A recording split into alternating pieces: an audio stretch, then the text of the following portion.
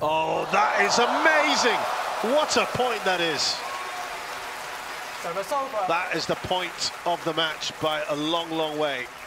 Superb Twelve. reactions there Eight. from Ng Tze Yong. And it looked, for all intents and purposes, that Kanta Tsuneyama was going to win that. He threw himself at that first here, the recovery.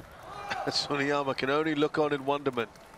Look at this, stretched here, and then gets back.